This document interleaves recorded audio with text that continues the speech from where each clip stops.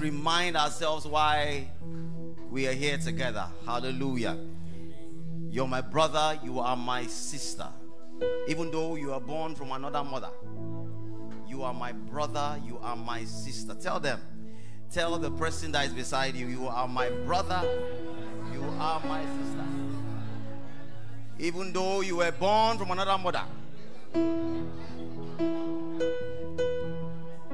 you are my sister. Amen. Hallelujah. Now, if you are not born again, please, you need to get saved. Because you can't say that. you really can't say that, you know. You know, a lot of times, a lot of people use certain things, you know, when they look at somebody maybe of another religion, say, ah, my brother. Yeah, not, he's not really your brother, you know. He's not really your brother. your brother is has to be, you know, know, Jesus was talking, I said, he was talking to the disciples. And I said, My brothers and my sisters are those that do the will of my Father. Mm-hmm. He was talking about them. And I was like, Wow. So you are, you've done the will of God as you've given your heart to Jesus. When you come into Christ, you fulfilled one part of it. Hallelujah. So I wanted to look at that person again and tell them, You are my brother. If there's a lady, you are my sister. Glory be to God. Uh-huh. If someone is older than you beside you, say, You're my mother. Amen. Bible says that the elder ones, you know, look at the elder ones as your mother. And the younger ones as your sister. So if, if you are sitting next to daddy, that say that you are my daddy. Amen. Hallelujah. So, you know, we've been talking about, you know, the kingdom family, and I'm trying to see how I'm going to continue. Um, I'm going to wrap it up next week because on the 29th, we have family and friends. It's a, it's a, it's a special program, and I want you to go out of your way and invite every family and friends you have because it's going to be very interesting, very intriguing, fun. There's going to be dance, there's going to be all, all sorts happening here you don't want to let people miss out on. And of course, there's going to be a kind of raffle kind of thing. Somebody, the, the, the, family that wins will be all expense paid trip on vacation to someplace.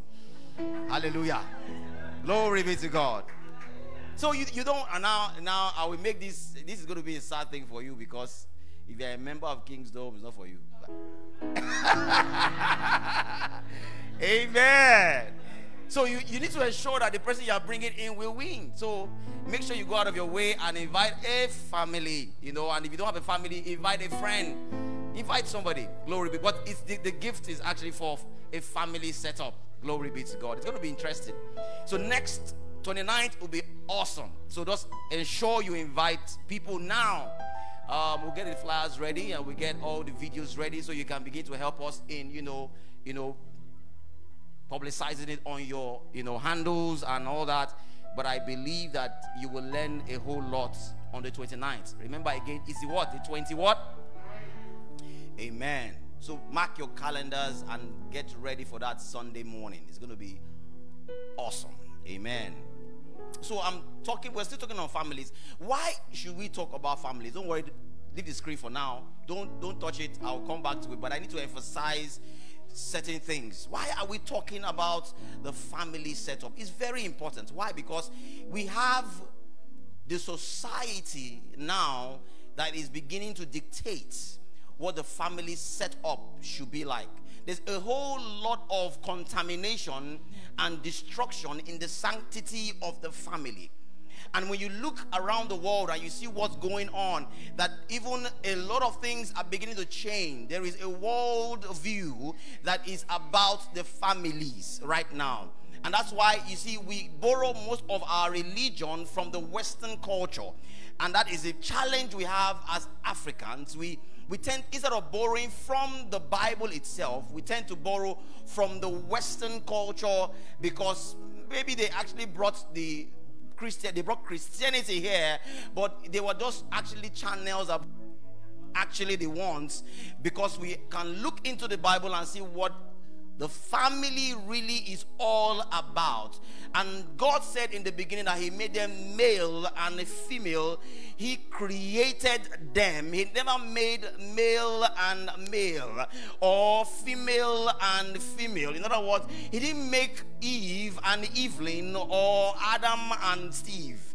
I mean, he made male and female. So when you look around the world, you will see a culture that is brooding.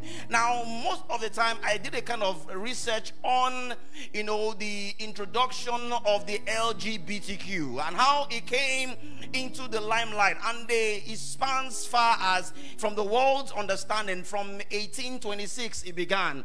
But I realized that even the, the LGBTQ, and this is very important, you need to know these things. Because if you don't know, you won't know how to, you know, pose a very good, uh, you know, discussion with people that will come on this platform because they have views. An LGBTQ individual has his views on what even the Bible is not even saying. And if you don't understand what Bible is saying concerning these things, you can get deceived yourself. Bible says we should be careful. Even the elect can become deceived. Hallelujah. And I realized that this has come as far back as even predated Christ. Amen. I looked into the Roman Empire. That's how far it goes. And now Rome was is signified for a lot of illicit and sexual tendencies. Rome. You'll be shocked that in the culture of Rome, listen to this, please. In the culture of Rome, the male gender happened to be the dominating character.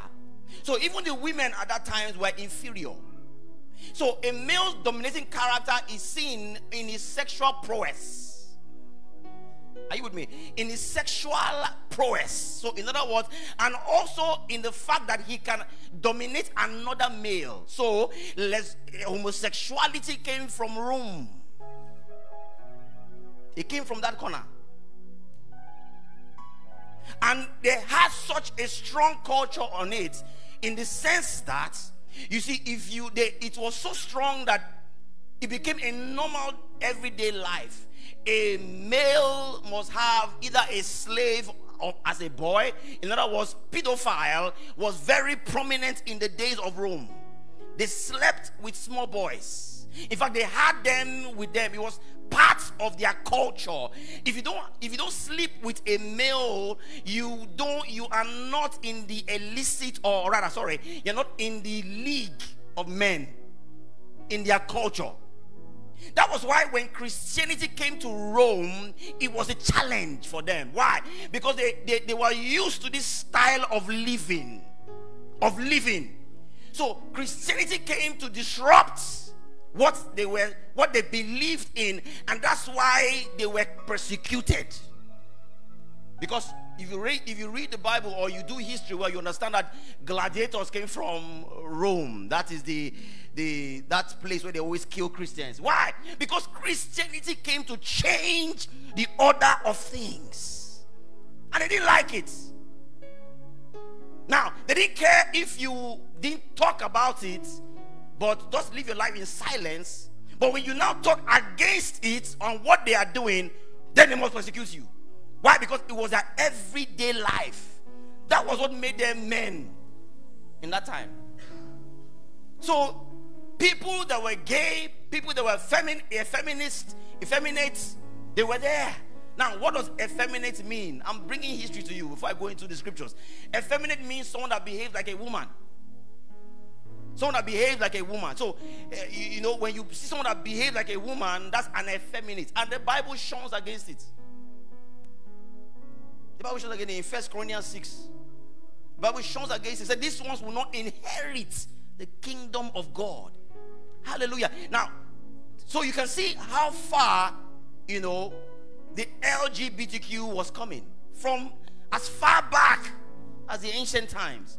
Now, you will understand when Christianity came into, you know, the schemes of things and started creating changes left, right, center, you know, and then of course we now are prominently the average person is born in a Christian home. Now you have an idea and understanding of how you should live your life. But you see, now the world is beginning to bring back this system. The world is beginning to bring back this system. And so we have them having their movements again. The gay movement. And they are saying, let's men marry men. And it's becoming open now. Now, when a man marries a man or a woman marries a woman and they go and get a child, how would the child be confused? Now, because when you send your children abroad, what happens there? Now they have various things. They no longer male or female. The sexual orientation of, of that we had as male and female is completely being eroded. Now you have male, female, queer, and you have other things. Anyone you choose to be.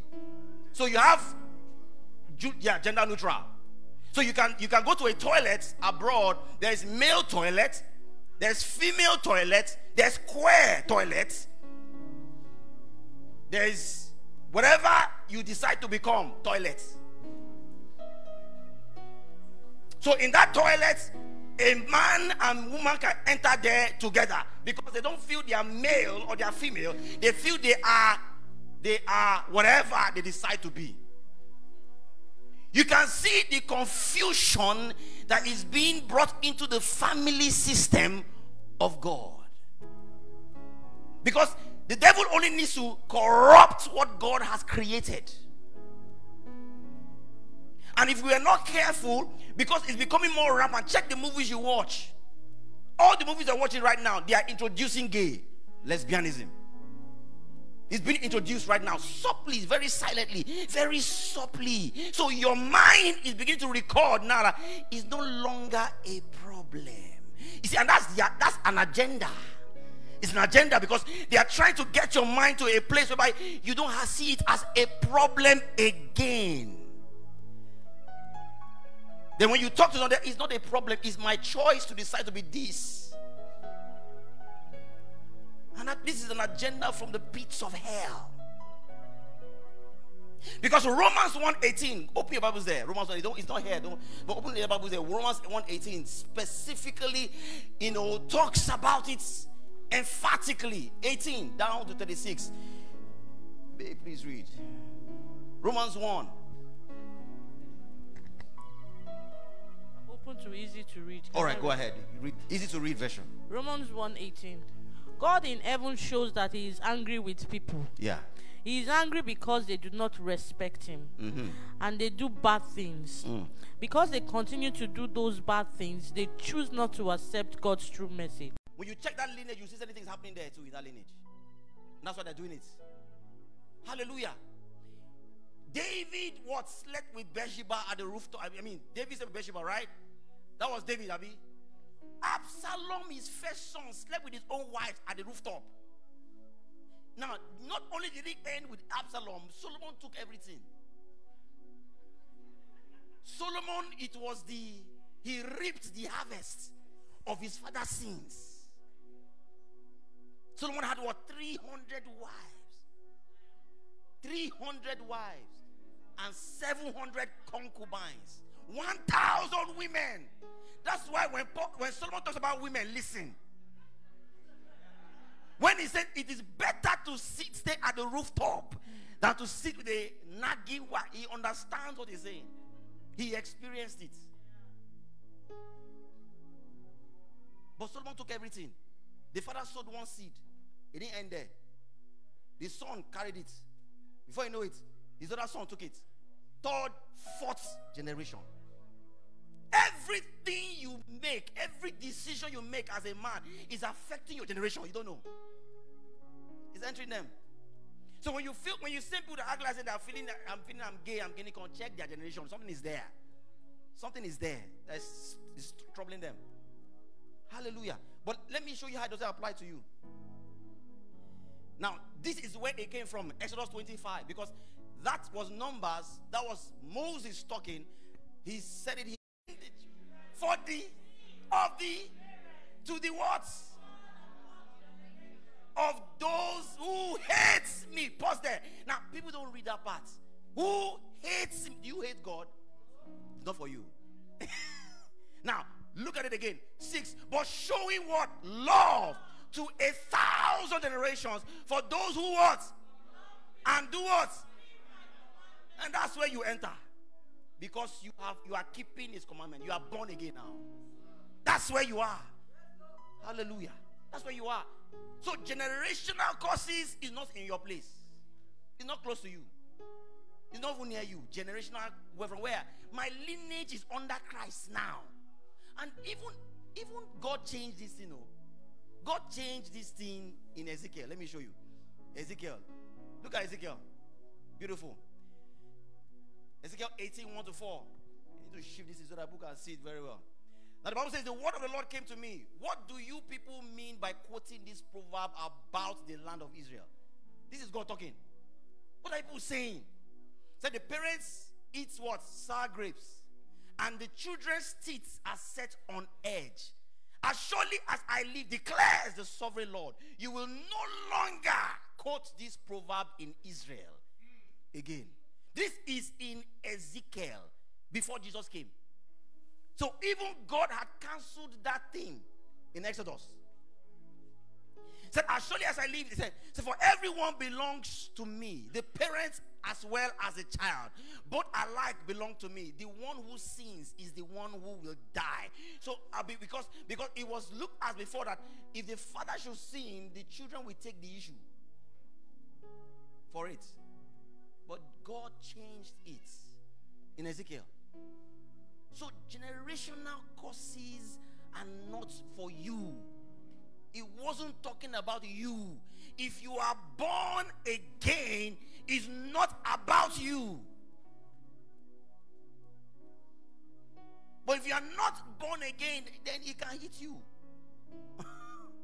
Hallelujah.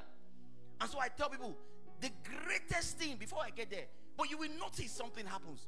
In some families, even though they are born again, there are still some things that are still happening. This thing seems to be happening in their family. The first one died at age 45. The second one died at another age 45. They always die at a certain age. I don't know if you are here. Some people you see them poverty in one lineage. Before you know another generation, another poverty. Generation, another poverty. They, they don't have a poverty flowing in their family. Or this one, you will see somebody that actually divorced at a certain time, the mother. The child also divorced at the same, almost the same time. The even the child or that one too, same divorce. You will see a trend, and these people are Christians. So, Pastor, what is the problem? I will tell you. And I say it, and I said it before. The greatest thing that can happen to an unbeliever is give life to Christ. But the greatest thing that can happen to a believer is to renew his mind. Because people have sown all sorts into our minds. Generational curses, breaking generational curses. We are breaking it every year. One church will preach one generational curses. We break it this year. And another again, they will do it again. They will go to another place to break it. How many times? How many curses are they breaking? They are breaking, breaking, breaking over you and you're, you're supposed to be a Christian. That means there's something wrong with our teaching. You can't be breaking it in every year. Every year you break it, you go again, you break it again, go again and break it again. The Bible says we have been redeemed from the curse of the law, which was made a curse for us. For it is written, Curse is he that hangeth upon the tree, that what the blessings. Now I explained that last week. Because Paul was trying to describe certain things to the Galatian church. And he had to use the blessings of Abraham. Right now, we don't have the blessings of Abraham. We have the blessings of Christ. Ooh. Uh, Ephesians 1 says, Blessed be our God and the Father of our Lord Jesus who has blessed us with all. Oh, you're not quoting it. With all what? In heavenly places. In where? Did he say in Abraham? In Christ Jesus. The Bible says your life is hidden in Christ in God. So if the devil wants to catch you, let him catch God. Glory be to God. So somebody said, ah, they will, they will, they will, they will come and catch me. They will, my, my star. They will, if you ever are reading horoscope, you are an unbeliever. Because I know Christians do that a lot. You say, I'm Aries, I'm Leo. You are what? I am Taurus. We are, this is how we are. You are what? What are, are you a necromancer? That is what necromancers do. That's necromancer. That's idol worshiping. But we grew up with these things. I'm Leo. I'm Spices. I'm. You are what? You you are waiting. From where to where? The Bible never said that about you. That's why all these issues are happening to you. Because you've been saying, and you now dictate your life by what they say that spices people will be doing. They they are this, they are that. Ah, that's that's me. You are what? That is who? That is not me. Oh, oh then we now use our dates. Uh, anybody born in August is um, Leo. Anyone born in this we are. Sorry, that is you. Maybe your family. Not you, not you. Hallelujah. The Bible says you are a son of God. That is who you are. You are the son of the Most High. Glory be to God. You're not any of those things. You're not an idol worshiper. You're not. Hallelujah. Glory be to God. So you all need to do, all you all need to do is renew your mind. Know what Christ has done for you, what He has wrought for you. So even if in your generation things are happening there, it stops because you gave life to Christ. It should stop because you are saved now. The Bible says, resist the devil and he will flee from you. First of all, it says, submit yourself to God and then resist the devil. So even though the devil is bringing some kind of trend, when it comes to you, it can't, it can't, it will stop here. I will stop it in my generation. Hallelujah. Because you must know who you are in Christ. You must know who you are. Amen. I did I did a, I did a, an exegesis on communion. You, you missed it. Oh my God, you should have attended. On a Wednesday, you should have attended. Jesus said, I am the bread of life that came down from heaven. Jesus said so. Hallelujah. Are you, are you with me? He said, I am the bread of life that came down from heaven in that same passage of scripture in First Corinthians 5, go read yourself. He said, We are now bread. We are now bread. We are now bread. so when Jesus says about himself that I am the light of the world, he says concerning you, you are the light of the world. What are we saying? What you know who you are in the light of who he is says you are the salt of the earth. In other words, you bring seasoning to the earth. Without you, no seasoning, no flavor. That's who you are. Anywhere you enter, I bring seasoning. I bring flavor here. That is it about a Christian. When you enter a place, there must be flavor. There must be seasoning. When you don't put salt inside food, what happens? It's tasteless, right? There's something wrong about that. And then, of course, salt again is for what? Preservation. Salt has the way of preserving. Amen. So in other words, anywhere you enter, you should preserve. If there's death, because you are there, there is life. Why? Because Christ in you, the hope of glory. See, listen to me. Stop looking up when you are praying. Look inside. He's inside you. He's not up, he's inside you. Christ in what? In you. He's in you. The hope of glory. You carry him everywhere you go. And I like the way Bishop Ayo Oritsejafor put it. He said, Look, you are carrying divine cargo. Everywhere you enter, divine cargo. Something is, a dynamite is working. That is who you are. But you know why you don't know? You don't know. A lot of times we come to church on Sunday and forget our brains in church. And then go home. And then we, we carry back the brain of home. and we walk like like ordinary men. Hallelujah. Glory be to God. Ah, I'm going to wrap up very soon now. Now, education role in the family. The education role in the family. Now, the, look at this Psalm 78, verse 5 to 8. It says, He decreed statutes for Jacob and established the law in Israel, which He commanded our ancestors to do what? To do what? To do what? To do what? To do what? So the next what? Would know them even the children yet to be born, and they they in turn will tell their children then they would put their trust in God and would not forget his deeds, but would keep his commandments. Now, watch this. Values and morals are meant to be transferred to the children by the parents. No child learns morals in their school. No child will learn morals in school or values. It's only in the parents' home. If you're not teaching your children values and morals, they will never learn it outside. If you, if you don't teach children how to greet people, they will not greet anybody. It's funny how my wife will say some things. Somebody will come, maybe somebody will, a child will there, and then the mother will now be outside in public, will be like, greets now, greets now, why not greets now? You have not done your work. That's what it means. Sorry, you have not done your work. Well, when you are outside beating the child to greet, that means you didn't teach the child how to greet in the house. Now, they don't even greet you, that means they don't greet you. It's in the house you start teaching them. Watch this. The quality of your parenthood is measured by your children, but not by your children, but by your great grandchildren. The quality of your parenthood is not measured by your child or your children, it's measured by your great grandchildren. That's how you know if you are really a good parent.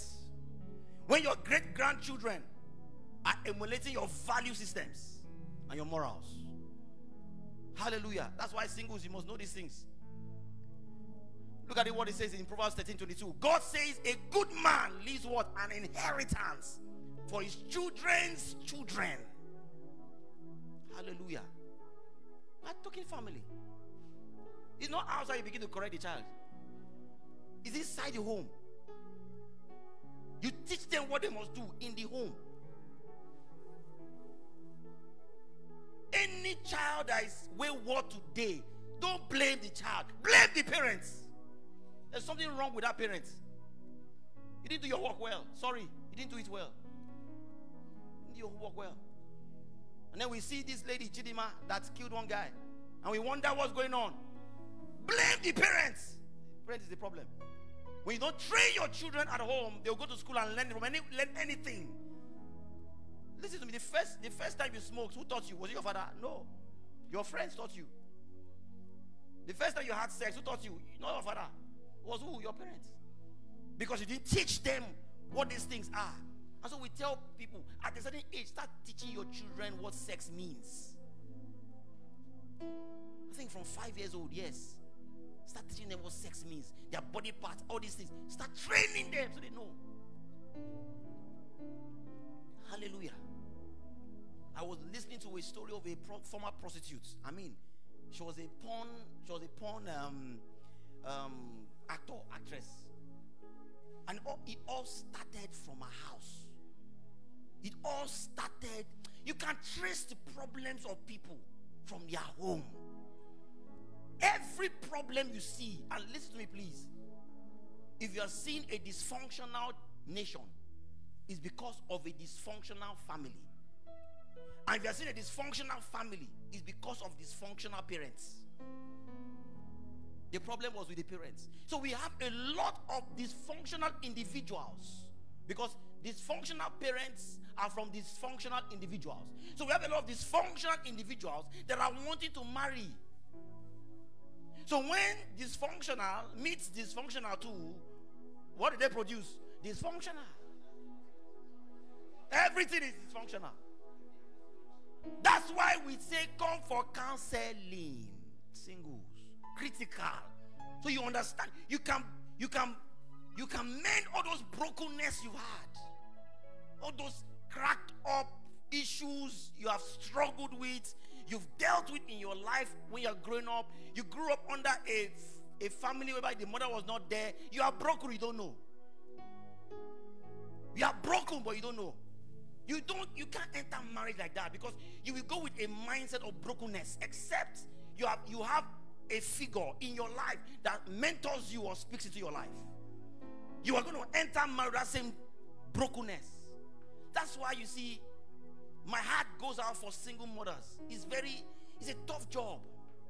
It's a tough job, very tough, because the woman has to stand as a man and as a, as, as a woman, and there's nothing you can do as a woman. You cannot be a man.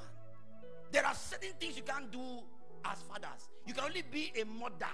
The best you can be is mother. You can never be a father.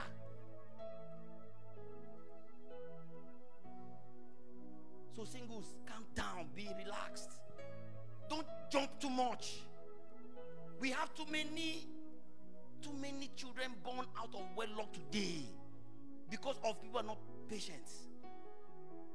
And that is because there's, a, there's so much dysfunctionality going on. My wife and I with cancer. I mean, it's, it's, it can be very heartaching. And then this child gets born, an innocent child comes into this life, and then ah, starts a rat. It's, it's worse off to know that there's there's so much troubles in the world. Jesus said there, there, there will be tribulations. It's worse often than in the world there are tribulations.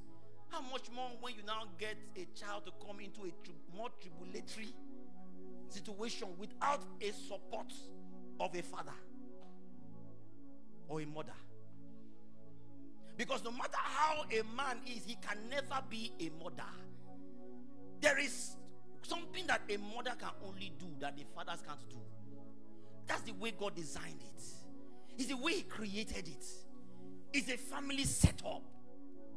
There must be father, mother, and then the child can grow well in that home. The father will educate what the mother can't say. The mother will say what the man can't say.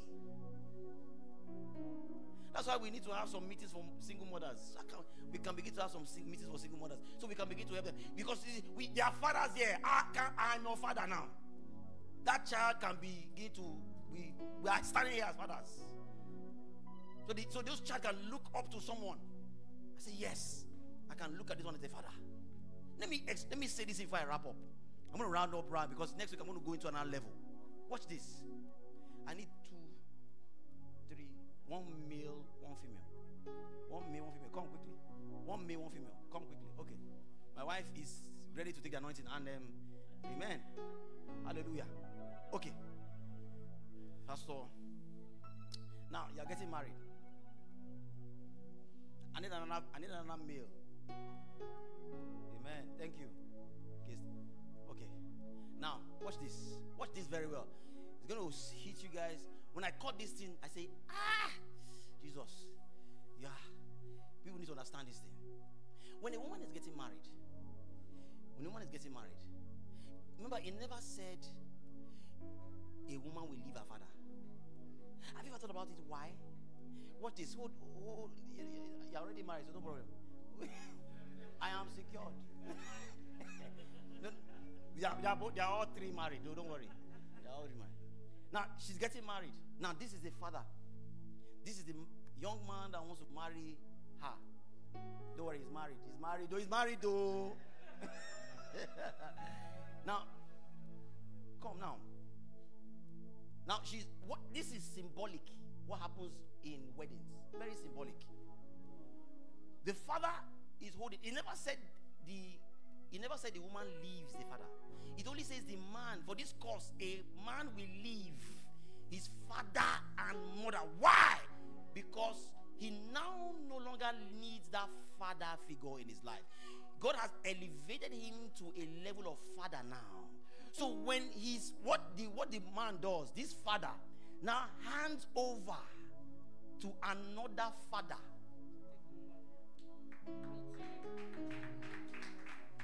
To continue where he stopped. So another father is going to now become the father of this one. That's why the woman never leaves.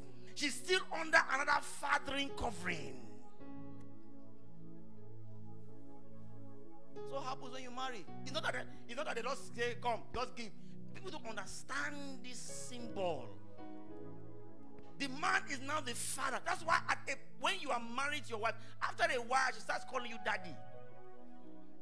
You are really a daddy to her.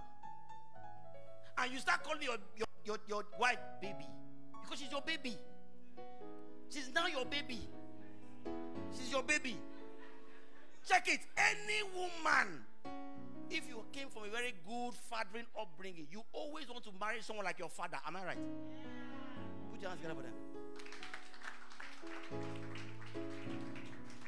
Hallelujah. Hallelujah. Ah, I want to just enter this evil man time. We'll continue next. We'll continue. We'll continue next. Many more things I'm going to show you. I want you to pray. Father, help me. Help me. This understanding I have. Help me. Help me. Pray, pray. You need to pray. You need to pray for you. Father, help me. Help me. This knowledge I have gotten, Lord, help me to put it in good use in my life. Go ahead and.